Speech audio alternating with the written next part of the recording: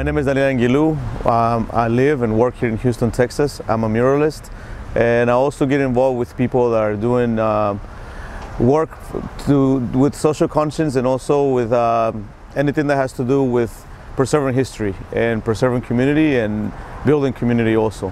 I recently painted a, a mural outside the Art League, which were the steps. And the Art League Houston has been here since the 60s and it's been a, a, very important place in the city for people to show work.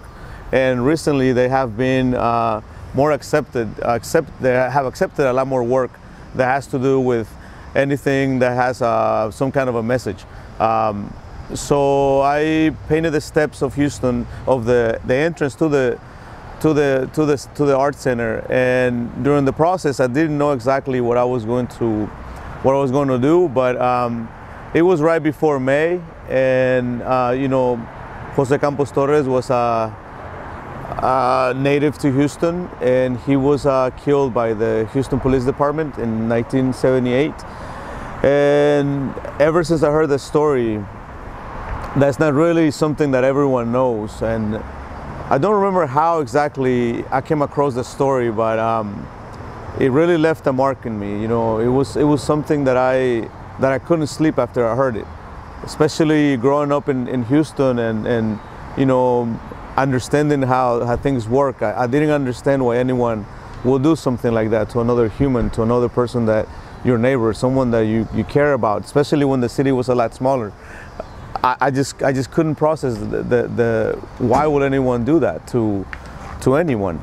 So once that I've investigated more of the, my own research of exactly how, how it happened, uh, I've always wanted to paint, I wanted to paint something as a tribute to him. Um, and then I met all the people that were already working in, in, to, to build more information about the case. And sometimes when I paint, I really, once it feels right, I just do it. And with this mural, it felt right to write his name on the floor um, because this in this area, a lot of people that, that live in this area most likely are not familiar with the case. It's important to learn from, from the past. It's important to know that we're still living, especially now, this is happening all over the country. You know, police brutality and abuse of power is still something that is part of this society. And I think that it shouldn't be part of a society. And we tend to accept it by ignoring the past.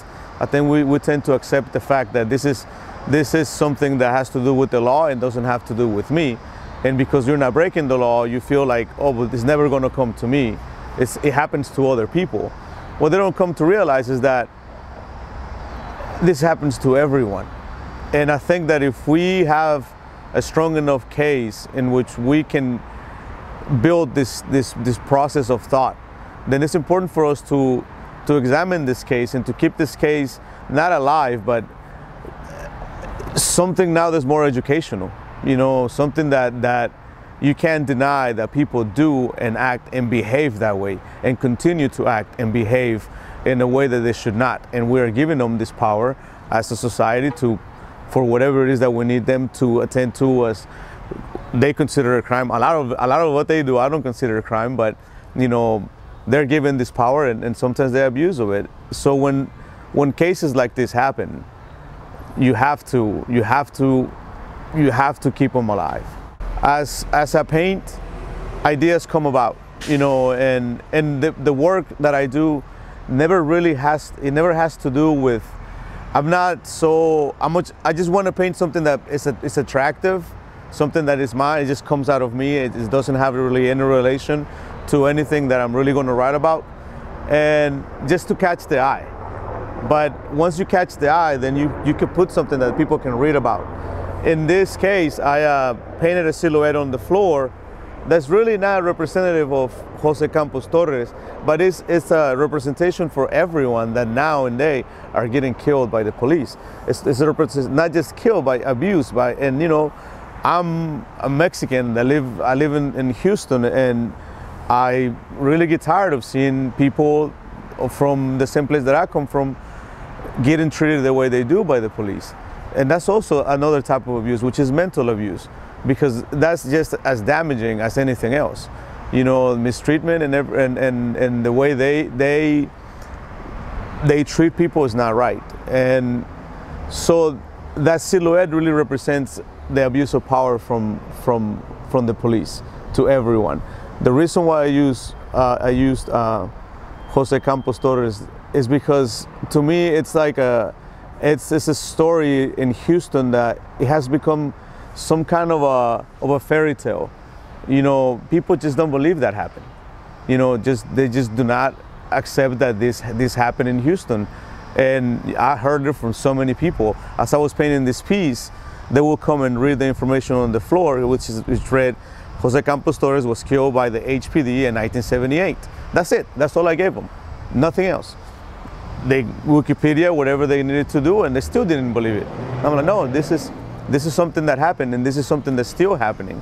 So it's it's a way to bring awareness of of, of our history, you know, because now I consider myself uh, a citizen of the city, and I think that I'm contributing to the to the city to not to to understand where we come from. You know, I I think that if we keep feeling like we're visitors to a place, then we're no, never going to integrate, and we're never going to really contribute to something that that that's growing.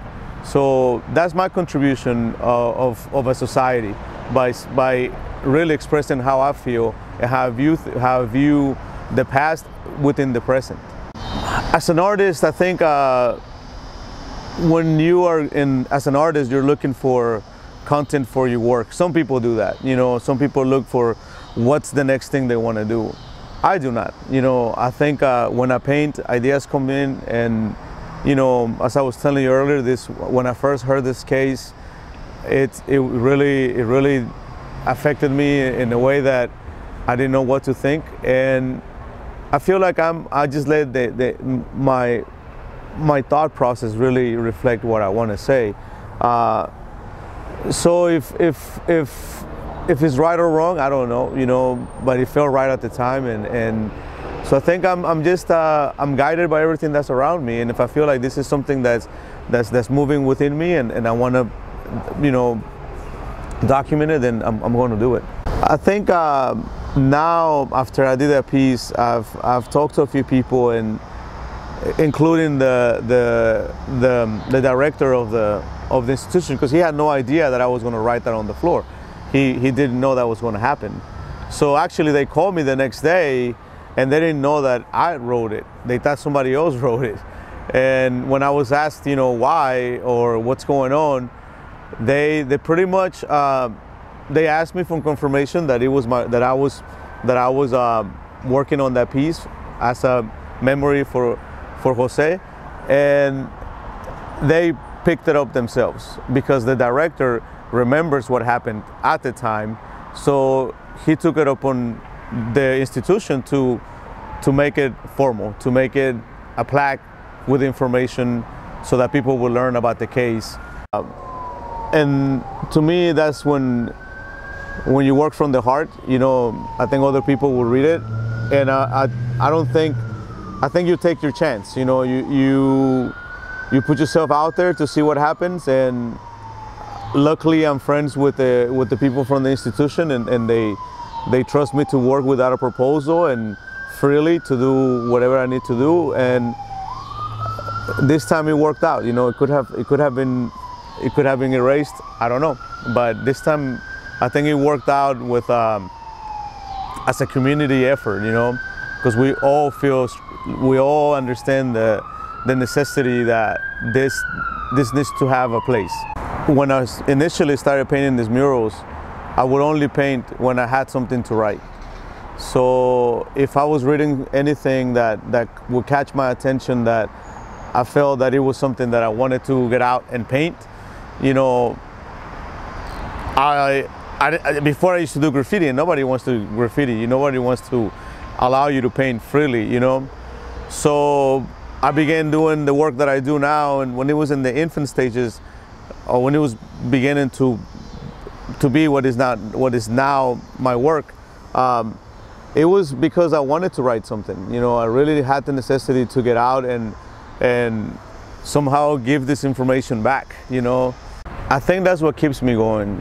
The fact that that still feels right, you know, that still feels natural, that to, to be able to, to have something that people consider to be skillful and, and pretty and something attractive to look at, that I'm, I'm not that into that.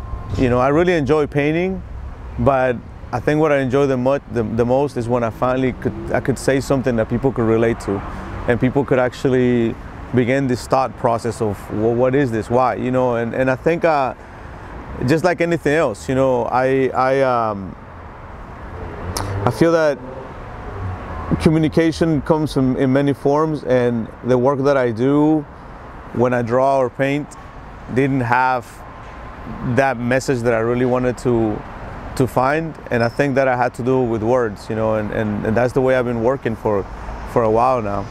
So yeah um, poetry is important. I think that um, society needs to reevaluate uh, some of the how we are to create a, an environment that's actually protecting and that's actually serving the, the people that live in a certain region.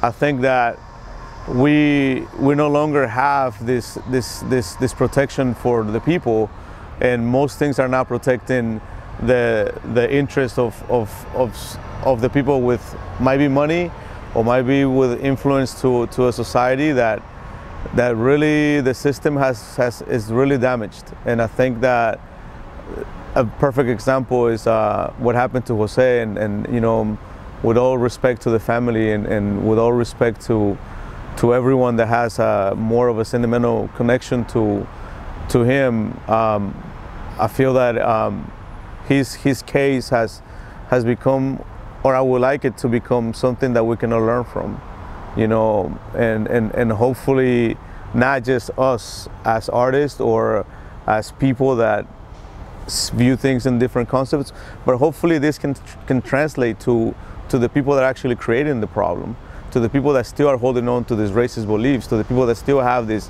this this um, necessity to to oppress others, you know. And I think it's important to be at a place where there's a disconnection to him. This is a a, di different territory, you know, and, and the more that we can connect to the people that not might be like us, I think I think we're doing a, a better job.